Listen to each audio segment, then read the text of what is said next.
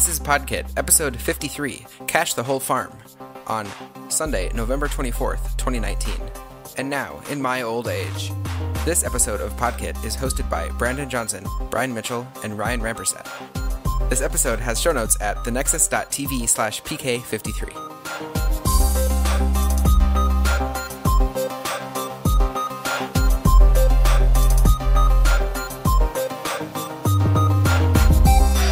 Well, we did it again, guys. It's been another two months. Whew. Time Well, flies. we're- yeah, we're back. But on the I mean, on the bright side, there's more to talk about. All this content, things have happened in our niche world of Apple and web development. Yeah, I mean those things don't overlap whatsoever, so it's a good thing we have something to talk about. Totally. Well, we should talk about the most important thing first, which is what is it? The 16-inch MacBook Pro. That's right. Oh, finally, Ooh. all of our dreams and wishes have been answered after I don't know, like three and a half years of agony. Something like that. Yeah. Okay. So let's talk about it. So it's a we're referring to it as the 16-inch MacBook Pro, but when you actually look at the screen, you can't tell that the screen size is any bigger than it used to be. Uh, I don't, I don't know, like internally, what Apple does to think like why did that? Why was the screen change so minimal? I don't know. Well, I think didn't they, they they decreased the bezel size a little bit and then increased the case size just a little bit. So it is 16 inch, but it doesn't look much larger because it isn't much larger. Yeah, it's it's it's uh, completely unnoticeable. Yes. Perfect. Um, more importantly than the screen size, of course, uh, not the keyboard. Nope, nope. It's the same price that it used to be. So they did not do what I suspected, which was making an entirely new SKU and making the MacBook Pro Pro and making the base model be three thousand dollars. They did not do that. They could have, good. but they didn't. And uh, with those same priced models, the baseline configurations have been updated as well, so you can now get a good or and or good enough GPU. Uh, but more interestingly and importantly for bulk purchases, the models will no longer come with 256 gigs of storage. Instead, they'll be coming with 512 and one terabyte. Nice. We finally caught up to hard drives from like 10 years ago. and and so it's an extremely important thing that Apple's actually shipping baseline SKUs with appropriate amounts of storage because when large companies order Macs for development teams, they don't often BTO any of those products because they're not usually it's not something you can do with, with the bulk ordering system. So that's mm-hmm. fine, but what that meant was computers were coming into these businesses that were using Docker and NPM and who knows what other very large file storage space intensive uses usages. Mm-hmm. And they were getting crushed under the 256 gig spec. Yeah. And not only are these baselines higher, but you can upgrade them to 8 terabytes of solid state storage. So uh, Jeez. get on that. For a low, low price of a million dollars. Well, I think I it's think- like 2500 for the SSD upgrade, which yeah, is so so much less than it used to be from Apple you Totally. know, a couple years ago. somebody spec'd the most you know they, they just clicked the most expensive bto options and it only came out to like six sixty five hundred. So it's actually not that bad. I mean, Yeah, that's a lot like- of money, but well i mean it's a lot of Yeah. money but i mean you know like there's an imac pro and there's now the new mac pro which should be coming out here any day now. So like that's not too bad. Why would you get that though when you could just get like three quarters of a Pro Display Max XDR pro. Pro HD? yeah. I don't know. I i i'm i think there's a hole in that plan That's true. You could also you could also just get the stand six and a half times. Outstanding. uh, and of course, the most important thing about this new computer is the new keyboard. yeah. Which has an escape key, I'm told. Yes, a physi- hardware escape physical key. escape key. Uh, I've actually been programming in Vim lately uh, because somebody turned on uh, Vim mode in my VS Code, and I can't escape. Someone did. and uh, escape is very important to have. Uh, I actually went to an Apple store a few days ago uh, and tried one of these new keyboards, and it does feel very similar to the Magic Keyboard that I have, but it also still feels somewhat similar to the Butterfly. It's a very solid key, unlike sort of the wiggly keys that the uh, 2013 and 15 models had. It's a little bit more stable. Yeah, I would say feeling. so. Interesting. But it actually has travel. Like you press it and you're actually going down. Well, it has it has one millimeter of travel instead of 0.55 millimeters of travel. It's, it's, it's for some reason that's a lot. Yeah, it's almost double. Yeah. I love my Magic Keyboard, so this sounds like a like a cool keyboard. I haven't tried tried it yet, but uh, if it's anything like the Magic Keyboard, I am happy. So one thing I miss, so I use the Magic Keyboard at home in my, at my uh, work desk, and when I'm at work, I just use the built-in laptop's keyboard. What I miss when I'm at home, I have my laptop on a little uh, like riser stand, and what I Uh-huh. miss about the keyboard is that it's not backlit. And I wish Apple sold the backlit backlit uh, Magic Keyboard because I could actually see it then. Of course, if they did, it would cost one billion dollars. Right. And then you could get so many MacBooks. at Exactly. eight terabytes for that. You got it. Yeah, I agree with you, Ryan. A backlit Magic Keyboard is like that would be the keyboard to beat all keyboards in my eyes. I use this backlit mechanical keyboard, but it's so noisy and it's like I want to I want a Magic Keyboard. I've debated just buying one and getting rid of this mechanical one just because they're so much smaller and lighter and flatter and easier to type on. The other thing that I wish is the black or dark themed Magic Keyboard only comes in full layout. I really wanted a 10 keyless one. Yeah. Yeah, that's a bummer too. So many needs, Apple. Yes. Well, maybe they'll release something new with the new Mac Pro. We'll see. Uh, I think somebody somebody was uh, showing leaked pictures of a new theme for the keyboards and peripheral products. So it would be dark, but the metal would be, or like the keys would be dark, but the metal would be like a, a steel color. The normal aluminum kind of thing. Yeah, Yeah. So like like a keyboard on a MacBook, for example. kind of. Yes. Also, the new MacBook Pro keyboard has an inverted T arrow keys, so you can feel the arrow keys again instead of just mashing the bottom right and hoping you make it. Which is also important for Vim users. So I agree. Definitely. Yeah, so I, I, I didn't buy one yet. I probably will wait until I need one again later soon. Um, but uh, hopefully, like in the in the near future, all of the uh, stores will have these, and you just go in and buy one and enjoy a real computer for a change. Nice. I would say for those of us interested in purchasing Magic keyboards, my pro tip slash life hack is to go to the uh, what do they call it MTech uh, store on the U of M campus because they often sell open box Magic keyboards that basically come from professors who got a Magic keyboard with their iMac and they're like, oh screw this, this is terrible. I need something with a number pad and I want it to have a wire.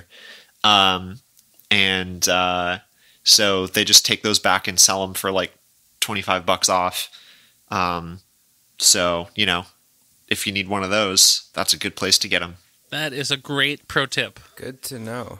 and you don't even have to be a u of m student to shop there All right, if either of you are there and you see one, just buy a keyboard and tell me about it after the fact because I will pay you for it. Perfect. 100% 100% All right, on uh on another note, Ryan, I heard you're uh, doing some reading. You bet I am. So I started uh, with a good friend of the show, Zach, a book club where we work, and um, we are reading uh, the book recommendation that Brandon had about I don't know seven months ago because it just Yeah. came out earlier this month in November, I believe, and um, it is the Pragmatic Programmer 20th Anniversary Edition. And uh, basically, the way that we've structured the book club is we read a chapter a week, and then on a Thursday afternoon, kind of after work, we'll go down to the lobby and uh, go to the little coffee shop that's built into the into the building and get coffee, and then talk about the book for an hour. And it's really fun. Um, you know, it's it's really interesting too because some of us are, you know, sort of it's sort of strange because the, people can be in the industry for 20 years but not totally be like a senior developer but people who've been in the industry for three years can be what they put in quotes as senior developer and then Hey, that's me. right exactly that's probably all three of us here at this point Yeah. um, and it's interesting because we also have a bunch of juniors on the team, and they haven't had experience with some of the topics in the book yet. And you know, all of us senior like people are all nodding our heads and saying, "Yeah, you'll get there one day, you kids." And then, and then all the all of the junior devs are, you know, just kind of like, okay, like I get what it, the book is saying, but I just it hasn't happened to me yet. So it's been really interesting to kind of discuss some of the the the aspects that have been talked about so far. Cool. Yeah, I'd I'd like to get into reading more. Like uh, I was doing really well earlier this year. Not really like uh, programming related stuff in that example, but I, I bought that book that you were talking about, you know, this summer, and I Yes. haven't even opened it yet. But the idea is there. I have it for when I do eventually want to read a book again. For sure. I would say it actually is a little bit easier to read a book uh, with a group of people because you're expected to read a chapter and the chapters are maybe like 30 to 40 pages and you know it's not a it's not like a novel it's not like a school book it's it's a book full of like source code and like a page doesn't equal a page it's uh, a little bit lighter Yeah. than that And then it gives you Totally. motivation too to keep going. well and you actually get to talk about it after Yeah. mm-hmm Uh, I will make another note. Like everybody should be doing this kind of stuff. Um, and if if you can't personally find time during the workday to do some reading because you know you're actually busy working, that's fine. But you should be doing some reading in your personal time. And like if you're do, just doing a chapter a week and a book maybe has like 10, 10 to fifteen chapters, like okay, well you can still do three or four books a year. Like you're fine. Don't worry about it. Um, and having some formal eh, formal education sounds complicated, but having some book knowledge is useful, uh, especially when somebody asks you, like, "Hey, read anything good lately?" Uh, and then the other thing I will say is your your employer should be paying for your books like this. You get to keep the knowledge; they get to keep the book. It's a fair trade. So I was going to ask. I know. I know we kind of wrapped a little bit uh, about this, but how? What, what chapters have you read so far? And out of those discussions, has there been anything that's kind of been uh, stuck out, or has been particularly applicable to the stuff that you all have been working on? You bet. Uh, company name? yes, that company name that may or may not start with a C. Yeah. Um, uh, well, company name starts with a C. I so know. See, it's very coincidental. Um, so you know, we we we kind of looked at the first chapter a couple weeks ago, and uh, it was kind of our test run chapter. So, like, Mm. who wants to participate? Well, find out if you like the book first, and then come to come to class. Um, and so we we really paid attention to the stone soup and boiled frogs section because uh, what we do uh, like I'm a consultant, for example, and what we do is we bring people together who weren't together, and we use all of their individual subsections of knowledge to go and create an outcome that wasn't available before. And so that that resonates pretty strongly with a lot of us. The other thing that I like is the uh, communication section, of course, within the first chapter. You know, also as a consultant, we have to talk a lot. Also, as a podcaster, we have to talk a lot. Not every engineer, and you may have heard about this, likes to talk or knows how to talk well. And it's an important thing to be able to do. Um, in the second section, we kind of split up the reading. We wanted to actually uh, cover tracer bullets and prototypes last week, and then this week we'll talk about some of the uh, other stuff. You know, it's a short week, so splitting it up makes sense in this case. So we do a lot of prototypes um, at company name, and those prototypes are really important because they define whether or not certain ideas are valuable and worth continuing. But there's also this concept of a tracer bullet, which is, in the book's opinion, sort of a prototype, but it's more structured than that, and it's a code that you don't intend to throw out. And I guess when I read the book the first time, nobody had the book yet. And then now we're reading it as a group, and I still don't necessarily agree with the concept the book is portraying about tracer bullets. I mm-hmm. think they are an imaginary concept relative to the way I work, I work that way. Like code that I write after I've thought about it is code I intend to keep. And then I'm but I'm prototyping it in the sense that if it doesn't work, I'm not going to keep it. Yeah, no, that's that's interesting, and I feel like there's there's a lot of stuff like that that very much can be can change depending on your like job function or the culture of your company, kind of like you said. Absolutely. Because like when when you're just trying to figure out whether you want to do something at all, like you said, it's like that's a little bit of a different thing. Where whereas like I think you're right that from almost from that perspective, it's it's written from this notion of like, well, you know, it's already been decided that we're going to do this. The prototyping is just figuring out what the what the right way to go about it is almost it is is is, is almost what it what it feels like the angle is or you, you maybe that's a little bit too no, restrictive I, no but like, i think so so like you, you've you've probably seen the um the scrum circle like uh if, Yep. you, if you do a google image search and you you type in scrum you'll see this sort of line and then there's a circle in the line that's kind of what i think of tracer bullets and prototypes are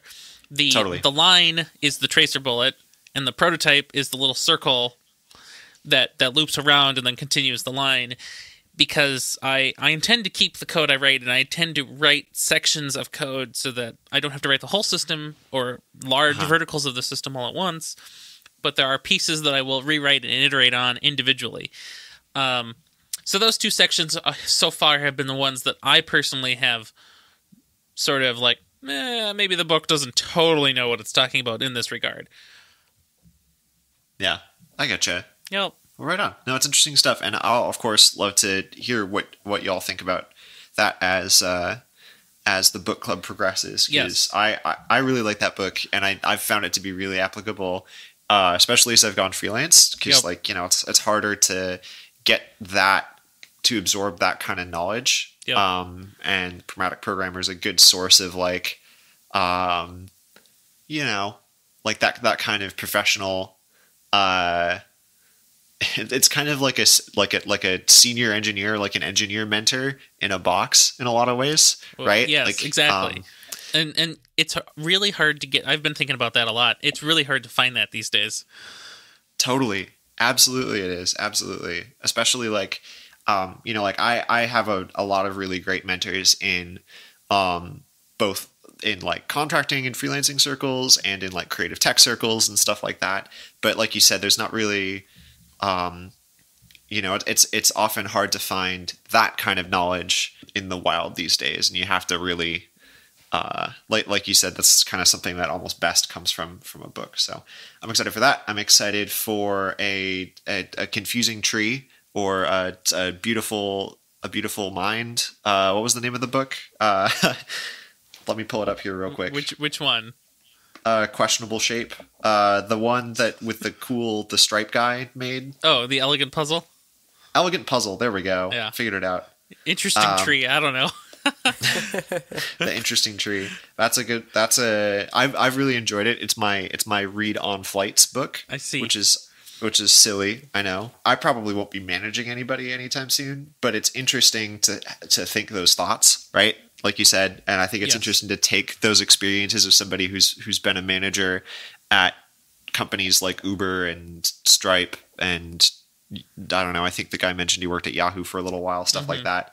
Um, it's it's it's interesting to think those thoughts, um, even if maybe like I won't be in that professional situation for quite quite some time, um, if at all, because it's uh, it's good to know where people's heads are at when they're encountering these situations. If if you have to interact with them and stuff like that. So yeah, for sure. I, I was just reading something and somebody brought up the term of shadow management where you are Hmm. not the manager, but you act as if you were, but you don't do the manager things with the title anymore.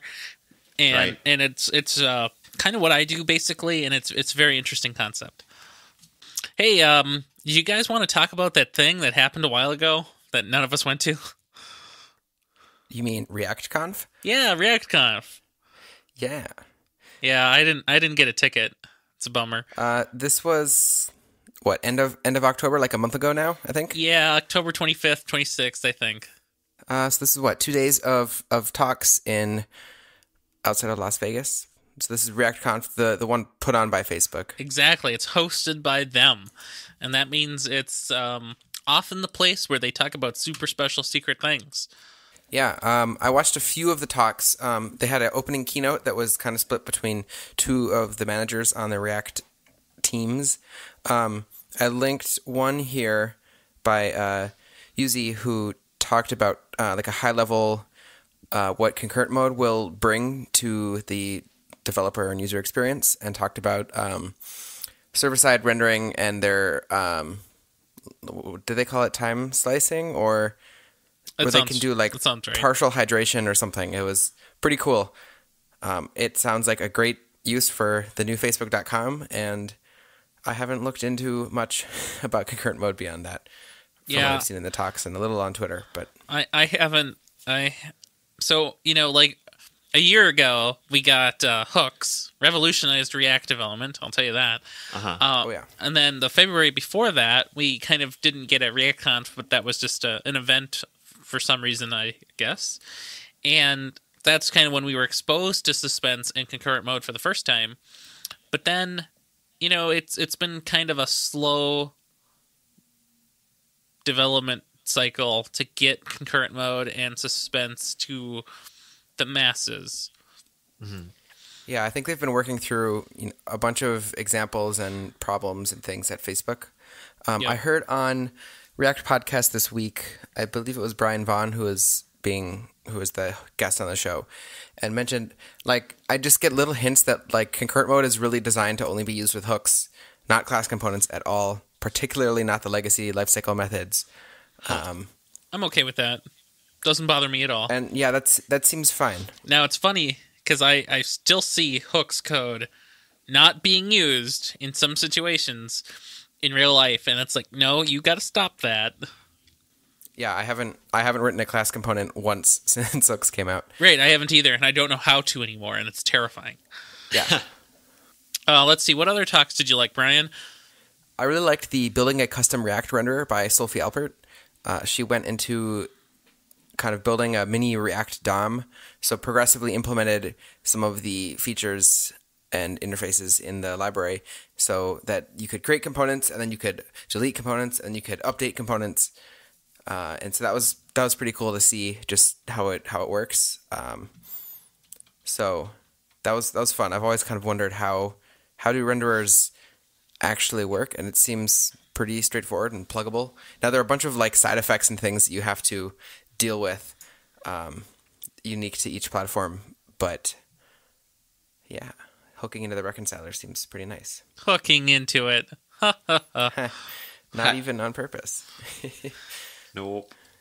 Another talk that I didn't watch from ReactConf, but I watched at React Rally was "Is React Translated Yet?" by Nat Alison. Great talk about translating the React.js docs on their website and creating a platform for managing the translations and deploying them and linking them and having it all kind of be compatible with each other. That's cool. I watched a talk from Ashley Watkins, who was working on the new Facebook website itself, and it is sort of a talk on, uh, you know, using concurrent mode, um, and uh, Relay, which is sort of their first implementation of a concurrent mode suspense compliant data fetcher, and they were also talking about uh, some of the new CSS and JS and some of the fa- what what they're calling phased code downloads, which is special secret code for uh what, what split code modules basically. Code code splitting. Yeah. exactly. So it's really cool. There's a lot of cool stuff that they're they're able to do with some of the new concurrent mode aspects, especially with some of their new uh, phased code downloading. Uh, like, what does it mean to have the UI hang out for a while while itself is downloading more stuff to render itself? Like, it's very strange, but also very fascinating. Yeah, kind of how I understand concurrent mode and what it's supposed to help with is it kind of batches the what used to be a waterfall of downloading chunks, downloading data to download more chunks, to download more data, etc., to bubbling up to you know suspense boundaries, so you can show like one kind of area wide uh, stuff is coming, loading indicator or something, and then Right. the rest can kind of be downloaded. And so you you lift your data fetching up a layer, so you can fetch that when you want to. Um, so you kind of fetch that when you fetch the components that will eventually render that data. Yeah, it's it's uh, still uh, extraordinarily complicated at this time. I and like we said earlier, like it's not totally clear how to use concurrent mode and suspense very well easily today. It's not like you can just get started like it was with hooks. Like there's some more depth and planning that is necessary. Yeah, it'll be interesting to see how it develops over the next few months or a year. Um, yeah, and I think it'll, especially at the beginning, it'll be very much a very small amount of users will or develop applications will opt into it, Right. and we'll have to see what um, what is is what is and is not compatible with it as well. Um, a couple of other interesting notes from ReactConf. Uh, version 17 of React did not come out. Oh, No, it So- did not. But we got 16.11 and 16.12 this fall Right. with just some minor bug fixes. So And they also changed their um, alpha build naming convention. Uh, experimental builds won't have version numbers anymore, so you you won't get to know what they're related to. Random. Um, so maybe we'll see. Like maybe 17 is still still a ways off. Maybe that's uh, late next year kind of thing. We'll see. Uh, the other thing that I thought was interesting is uh, Dan Abramov recently has been tweeting about um, sort of mixing uh, server side and client side tech uh, for further integration. And uh, that's always a spooky thing, so we'll see what that means in the long term. Yeah. It's an interesting new world out there. All right, for something completely different, um, the Redux docs have been getting a lot of attention lately, um, and they're uh, releasing a new style guide page that kind of talks about a lot of best practices that the Redux team recommends you use, and that um, I think some common patterns that the community at large has been using as well. So some of these are um, they list them in three priorities A, B, and C essential, strongly recommended, and recommended. Um, and some of the essential ones are like do not mutate state. Um, that's kind of been described in their docs already, I think. Uh, yeah, that's a that's a generally known thing about um, Redux. Yep. And they um, suggest that you can use tools like Redux Immutable State Invariant or Immer to avoid mutating that state um, if you don't implement it all by your hand, all by hand. Reducers must not have side effects. So these are things like using date.now or math.random inside of a reducer. Oh, I'm guilty. Yeah, I think I do some date.now stuff. Yep, I'm I'm totally guilty of that, and I don't I don't mind doing that because, I mean, it was either going to come from the action or it was going to come from the reducer, so I, it doesn't matter to me. Yeah, what it, what it breaks is like time traveling of going through your state if you're calling reducers again I never do that. To update. No, but the the Redux Dev tools let you do that, and it's kind of weird to see if you have parts of your application that are solely uh, controlled through Redux. It's About kind of ninety percent of the time, I forget the Redux Dev tools even exist, so I'm okay with that. Now, the next one I think is really interesting. Do not put non-serializable values in state or actions. Hmm. I don't think I've ever done that, so that seems okay to me. What about you, Brandon? like I'm I'm trying to think of a situation where it would happen, like a moment.js object, maybe that's not written out to something serializable. Because moment in and- in and of itself isn't like a moment object isn't in and of itself serializable. You'd want to do like a value of or something like that. right, two string ISO or value of. Yeah. Yeah, so I've actually been in a set of talks recently at uh, company name, and one of the things that came up was actually storing non-serializable values in local component state and or in the store. And we had this long discussion about why this is a terrible idea. And hmm. I, I thought it was very interesting to now see this written here because I agree with it. Absolutely. Well, yeah, I'm I'm trying to think of a situation where I have done that. I don't know that I have. So some some people will like think it's clever and or useful to store a function in uh, a local component state. Uh, that's spooky to me. Now it's less Yeah. spooky there because you never really dump a component state to a serialized format. But a store is by definition almost certainly going to get serialized in some way or another. All right. Yeah, it would make Redux persist Break. have a terrible time. it would explode. Yeah. So it, one thing that's interesting about that is it doesn't say why you shouldn't do that. I mean, I guess it just says here that Redux DevTools will explode, but I feel like there should be a more uh, important underlying reason. Right. Yeah.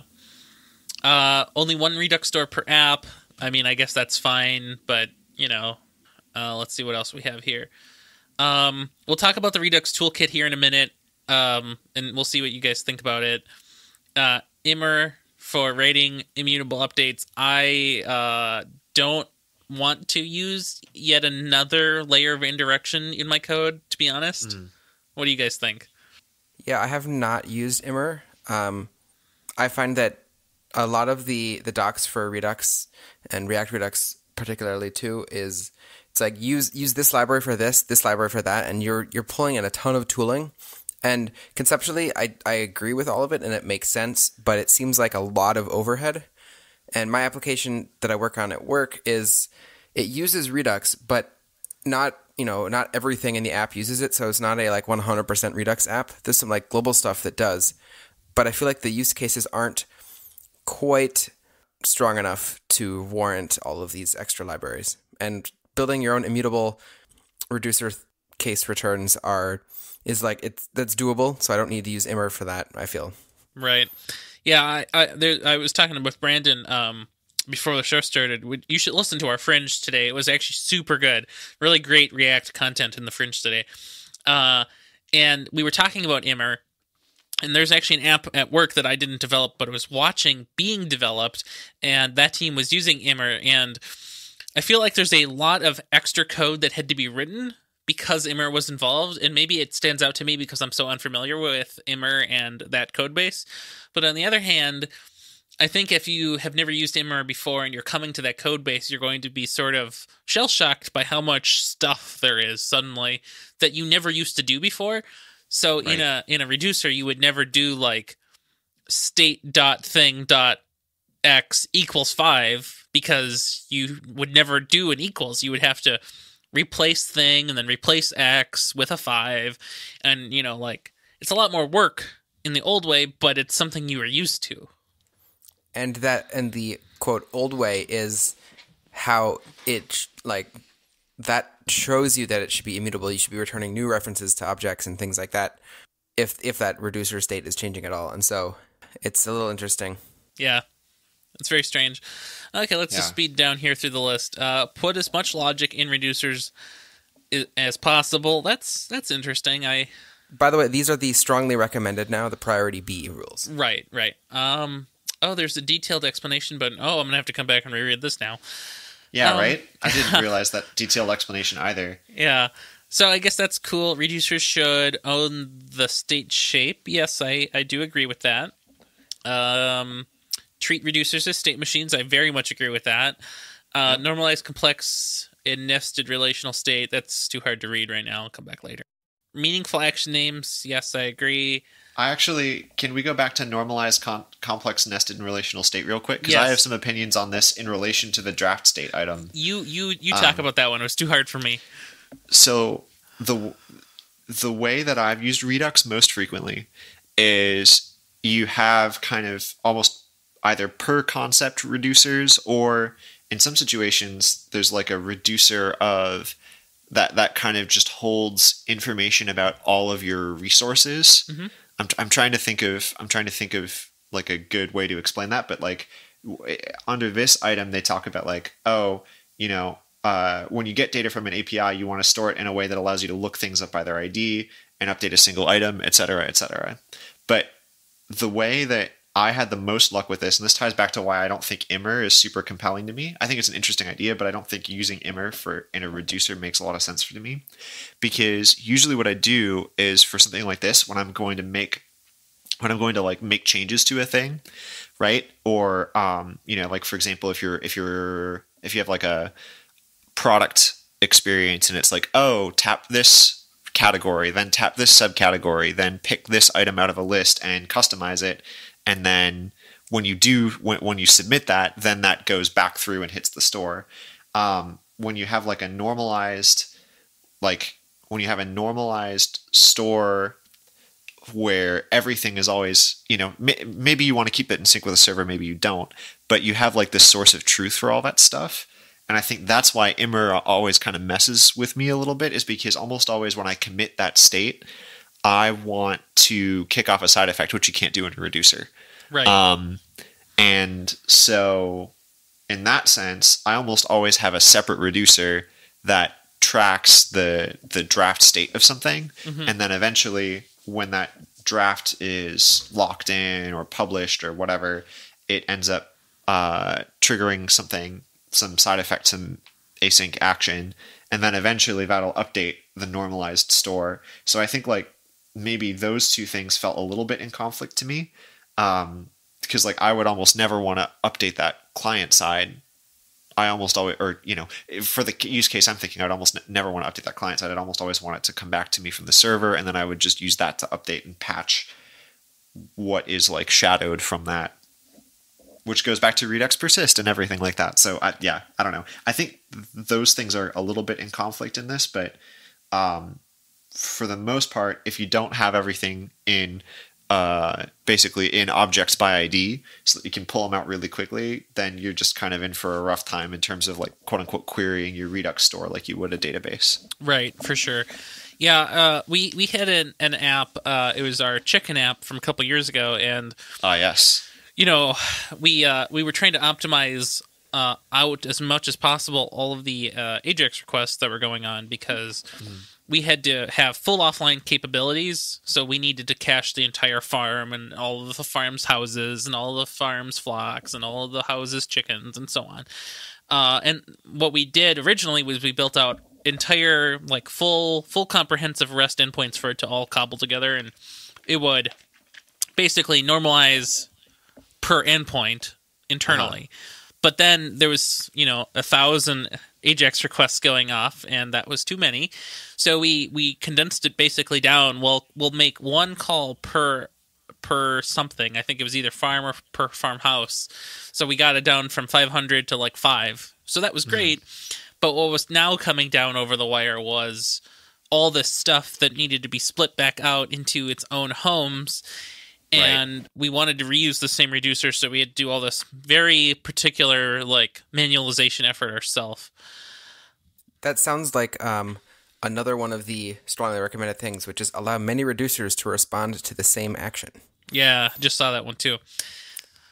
That's a pattern that i've used a little bit in my app.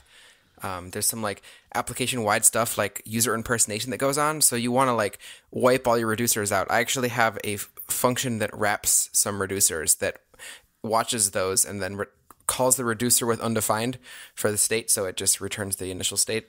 So I kind of wrap some reducers that deal with user stuff um, or like data to a user. So we can just wrap a reducer with something and have it wipe it all clean on the associated actions to bring it back to something we were talking about in the fringe, that's probably where I'd want to. I almost want to use XState too to model this stuff, and I'll tell you why. Because when I have multiple reducers responding to the same action, it all of a sudden gets super annoying to debug.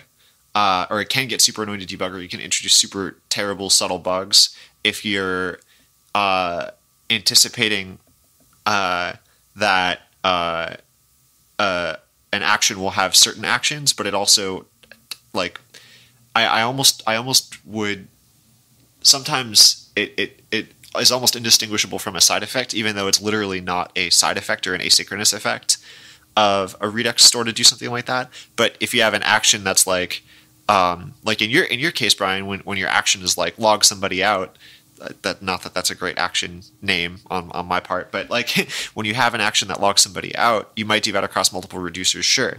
But like uh, if you have something where it's like add product to cart and it adds the products to the cart and then also uh, increments something in your analytics store, which might make sense. But if it if it does some other thing, maybe this is just a problem of like factoring it appropriately, so that generally speaking, these things are things that feel like they belong under a certain action and naming properly. But I feel like that's still really difficult.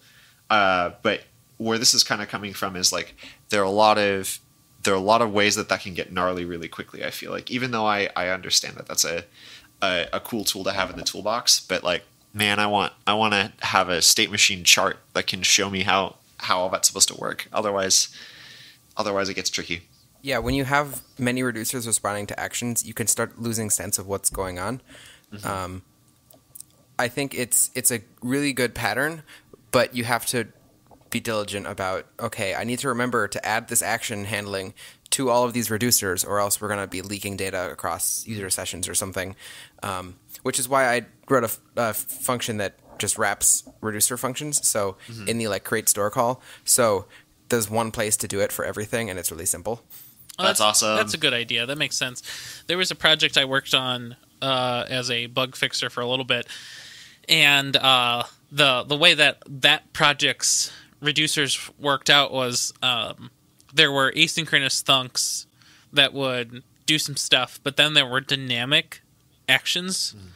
that would um, come down come down through you know those dynamic those those async thunks and the dynamic actions would basically change their action type based on who knows what other arbitrary stuff. And it was extra- just an extraordinary mess of having too many reducers do too many different things and the action types were dynamic so like you just never knew what was going on. Like you couldn't search for the string the the the, the action type you had to search for a thing that made the string and it was just a disaster so you you really do have to be really careful when you have multiple reducers firing at once based on the same data and then then you also have to like actually write tests for that because most people would assume that it's probably not necessarily intended behavior. All right, let's see some more stuff. Model actions as events, not setters. Don't say like you know set username. Say you know like user user logged in or something, and then that have things handle that action versus. It's kind of like a um, responding to events versus like pushing set calls around. It's just a mindset because yeah. you, you you handle your actions. I'm I'm guilty. I was just going to say another common thing that that's been really frustrating is when like folks will basically create a reducer and either have like setters for each individual field, uh. Right? Like basically getters and setters for each individual field as actions, um, or uh, they will have one setter for the entire reducer, uh, or my favorite, which is both. Folks will make you know actions that do just just just uh, you know sometimes we'll edit just certain fields, and other times we'll edit the entire uh, the entire state. Um, it's really frustrating because you, then your actions are meaningless and they're not grouped by what you actually want it to do. So I think this is a reasonable point to have. That describes it perfectly that is tied in very closely with write meaningful action names. Yes, let's see what else. Avoid dispatching many actions sequentially. I think that's important because those updates are are there and if you have a bunch of actions that are all dispatched at like the same time, you should probably have one action and handle it in um, several different reducers or uh, reconsider your reducer logic so you don't need so many actions. The the one I found here in priority C was write action types as domain slash event. And uh, you know, everybody was always taught in Redux land to use like uh, as they describe it here, screaming snake case. um, yeah. and I I've it's interesting that they say that here because in uh, what is that thing called React Native with um, React Native router Flux, the router that we use. Yeah uh, you have to have you know it, it's not like action types but you have to have uh, basically like screen slugs and i hated how the screen slugs were always shown in that system as snake case screaming.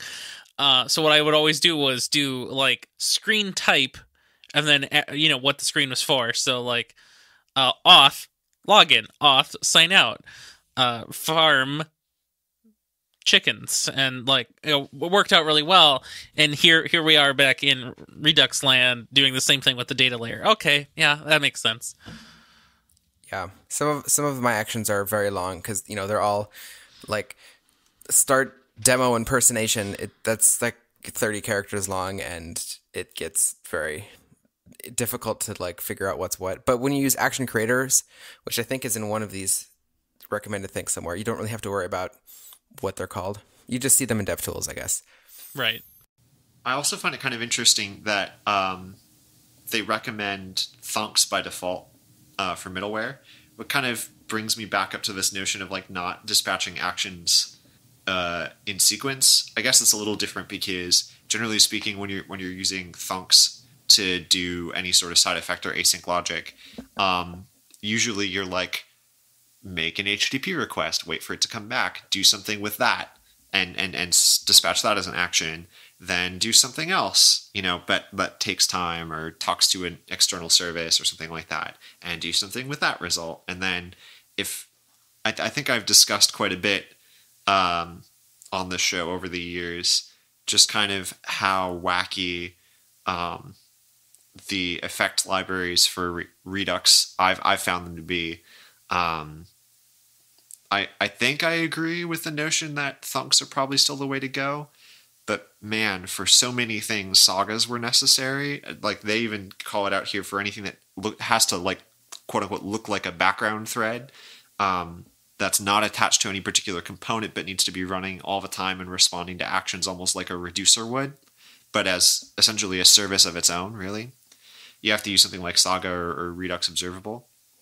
Yeah, I really like Redux Saga's pattern for that. Things like take latest or take every or take first or or initial or whatever they call it. That that kind of asynchronous handling is really nice, but that library feels very heavy because you're you're not just shipping the Saga library, but like polyfills for generators. Um, and then in addition, you have with Redux Observable, you're using that library plus all of RxJS, which is quite large as well. So I've never used Yeah. Redux Thunk actually. I've used Redux Observable and a lot more of Redux Saga. So Interesting. We should we should we should talk about Redux Saga at some point. It's been a year or so since I've been really deep into that, but um, it's uh, I I think it's probably changed quite a bit, and hopefully there's some better guardrails around it now because we were running into some really weird crap. Yeah. All right, let's uh let's whip through these last couple here quick. Uh, use static typing. Great, we all like that. Use the Redux DevTools extension for debugging. I agree with that. It's it's cool. It shows you what things were changed when certain actions were fired. Um, and then use selector multiple times in function components. Um, so this um, says when retrieving data using the use selector hook, prefer calling use selector many times and retrieving smaller amounts of data instead of having a single larger use selector call that returns multiple results in an object. Uh-huh.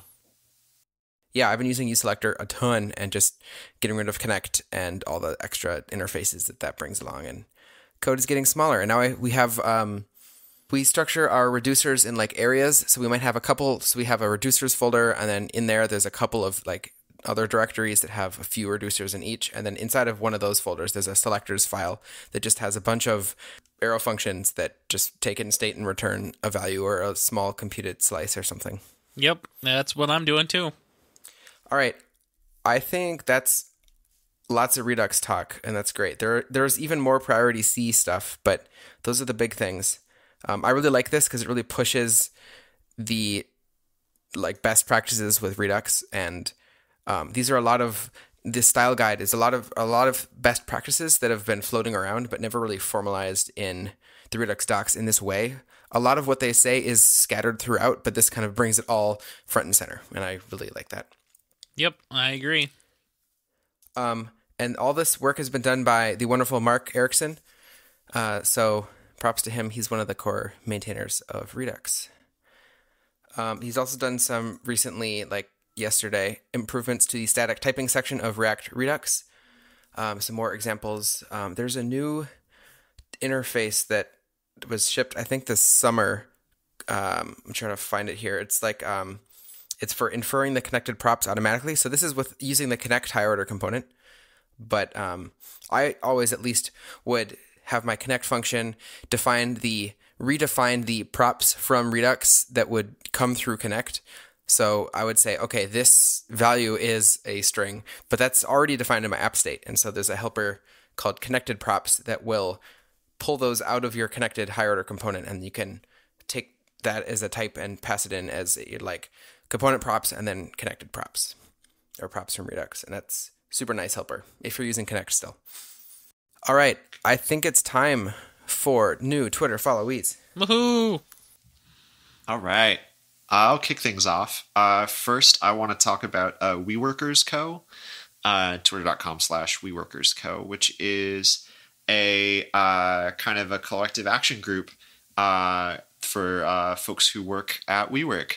Um, so uh, you might have heard on the news that WeWork is, uh, you know, going through kind of a weird situation with an IPO that's on on pause, and you know some concerns about whether they're able to make payroll, and um, so it's it's really uh, you know as as a WeWork member, it's you know I'm kind of concerned and alarmed by this. Not so much because um, you know not so much for my for my own workspace because you know whatever like I'm a software engineer, I can work from wherever, but you know a lot of the people who work at WeWork, uh, you know, especially the folks who are running each of each of these offices, each of these buildings, like they're not Adam Neumann. They're not, you know, they seem like very very nice people, and um, you know, they deserve to be treated with respect and dignity. And I don't necessarily feel, and I feel like a lot of people feel that like that's not how WeWork corporate is uh, responding to these situations. So um, I wanted to uh, give these folks a shout out because they uh, we, the WeWorkers Coalition is kind of talking about and publicizing um, a lot of things. Like they brought up the whole notion of how uh, basically WeWork fired all of their custodians and um, uh, gave them all uh, contract offers through now a subcontractor that WeWork is working with. Um, and there were a lot of kind of bad implications of that, where um, folks would not receive their 401k contributions from WeWork for the year because their employment would terminate, even if they accepted the offer at this new subcontractor. Um, so yeah, kind kind of a kind of a, a bad situation, but it's it's awesome that uh, you know folks who work for WeWork are um, kind of coming together and um, taking some action on this. Um, so I wanted to give them a shout out. Uh, next up is uh, Simone Giertz, a super cool person uh, who made a uh, a Tesla truck before it was cool. Um, so Truckla. before, yeah, yeah, good old Truckla. Oh my gosh, what a Uh, great name! It's a pretty great name, right? Uh, so just just uh, you know, every every time you see that silly Cybertruck, you can be like, "That's dumb." Uh, the the This real is what we could have Cybertruck- had. This is what we could have had: a Model Three that was modified to be a super badass um, truck thing. And Simone is a cool person, and um, it does the like uh, a bunch of cool things with robots that are very silly, which I love. She's the self-proclaimed queen of shitty robots. Yep, exactly. Give her a follow on YouTube as well. Great, great channel. Totally. Uh, and then I also want to throw out there uh, twitter.com slash MWR native, made with React Native, um, which is kind of fun. Um, they tweet a bunch of things every once in a while about kind of some startling or cool things that are that are uh, coming out of the React Native community. It's it's really fun because like they'll they'll walk through and retweet another account with with some frequency that's like, oh, you know this really cool animation that's like tearing up the creative tech community. Well, look, I did that in in React Native. Uh, like can like can it be done? So that's kind of fun. And those are my three new Twitter followees. Wonderful. Nice. All right. I followed a few people, but um, I'll call out three here. First is Carolyn. Um, she does uh, front end development in based out in Ber- Berlin, I think, in Germany, um, but in America and living there. Uh, she's got some some great blogs on dev.to as well as tweets and yeah, give her a follow. Next is Monica Lent, another American based in Germany. I think she's American, maybe not. I'm not quite sure. She does some other um, front end style tweets as well. Um, and then last is Jason Webb. He's a developer advocate at Accessible 360. He gave a talk Jason. at uh, JSMN in October uh, that was an awesome talk. So he's a good local Twin Cities developer advocate, which we don't have too many of. So pretty unique. No, Jason's super awesome. It was super great to have him come by JSMN, and um, he's uh, a, a really cool person to know in town. And uh, I know uh, if you are looking for you, the royal you, are looking for uh, uh, anyone to talk about web accessibility with, he's a great um, available person to talk to. How about you, Ryan? Yeah, I see you followed you followed people. I did follow a few people. Uh, let me just click these buttons here. So uh, I followed a person that we talked about uh, many many uh, Twitter followees ago, which is Ian Coldwater. We actually went to one of her talks here at uh, JavaScript Minnesota maybe a year and a half ago, and apparently I didn't follow her back then because that was too hard to do. I guess I don't know. Uh, but it was recently KubeCon, and uh, Ian had been at KubeCon sharing all of the things, so that was pretty cool. She actually gave a talk there. No, Ian. Uh, Ian keynoted that, and Yes. yeah, they're they're a really great speaker. And um, Ian and I have been friends for for, for quite some time now. Um, they were involved with the original Junior Devs group and stuff like that. So all all sorts of all sorts of good things, and it's so awesome. I watched uh, a, a little bit of that uh, of that talk. I don't do the Kubernetes thing. Yeah, I don't so either. Admittedly, I, I don't I don't understand anything that's going on, and I try not. I'm in my old age. I try not to consume a ton of content that is like extremely um, technical and things that uh, I'm I'm not uh, you know excited about. Um, Can I just say, you said in my old age. Yeah, but he's know. younger than us, so what will we do? I'm I'm at least my my mental age is at least 84, so we're Oof. you know, but um, but I I always love uh, seeing uh, an Ian Coldwater talk because you know I just remember having conversations with Ian early on, and now they're like keynoting um all, all the all the big events, which is amazing and magnificent, and I hope they stick around in Minnesota because um it would be A loss Uh, for us all. it would be a major major Yeah, loss. I agree. Uh, if if they ever leave. So Mhm. hi Ian. Uh, let's see who else. Uh, I have followed Brian Don. I met Brian at um, what was that thing that I went to? Um, Kotlin, Kotlin everywhere. Kotlin forever. Kotlin everywhere. Kotlin Uh, forever. and um, uh, I I know I know Brian sort of also through Carl, who I know through work, and everybody knows Carl on Twitter. So hi Carl and hi Brian. Um, uh, Brian's actually working at a startup whose name I forgot, but it's like a farming startup, and I like farms, so that's cool. Uh, and then finally, um, I have one more, and it is Colin Lee, and um, apparently he works at uh, Mozilla, and he followed me, and I followed him, and uh, you know, cool stuff. Nice.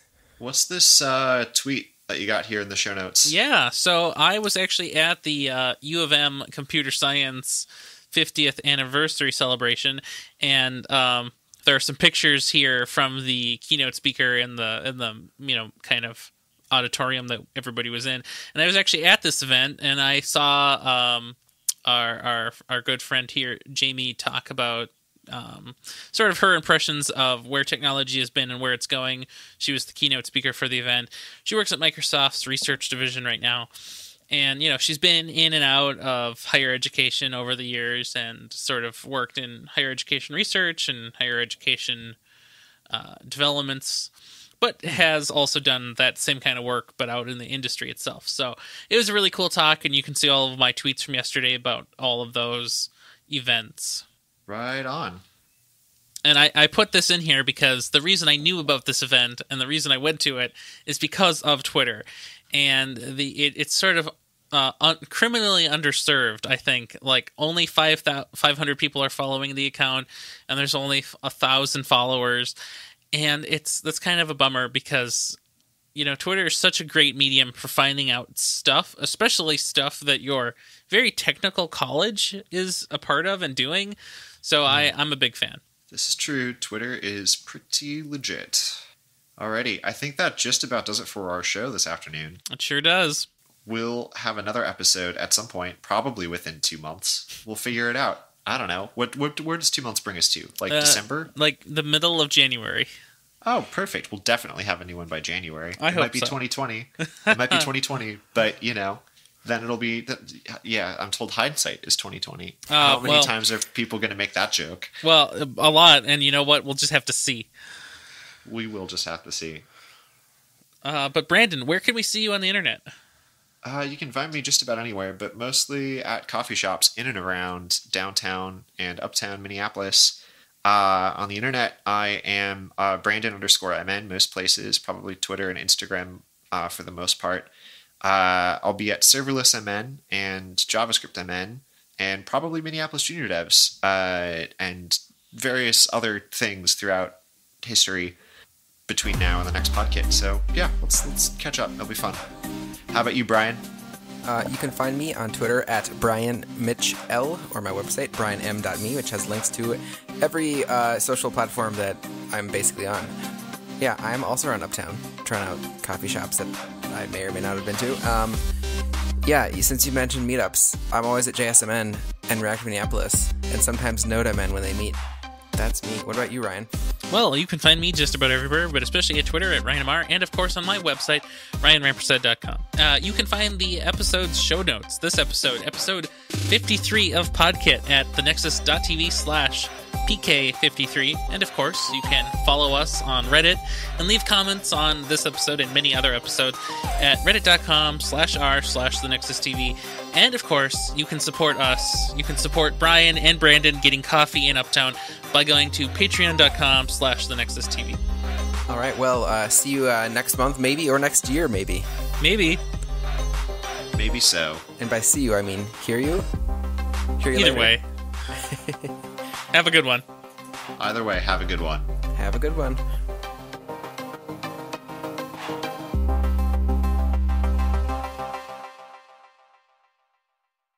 The Nexus The Nexus The Nexus TV podcasts from, from the, technological, convergence. Real quick thing before you go, it's almost time for the annual Project for Awesome, and the Nexus will be participating again. So, what the heck is the Project for Awesome? Uh, the Project for Awesome is a community driven annual fundraiser for charities that was started in 2007 by Hank and John Green.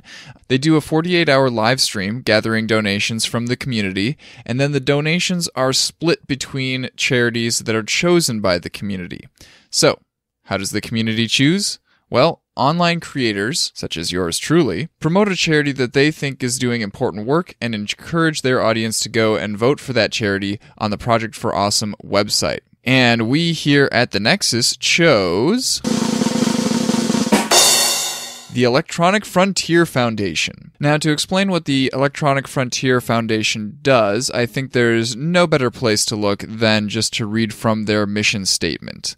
When freedoms in the networked world come under attack, the Electronic Frontier Foundation is the first line of defense.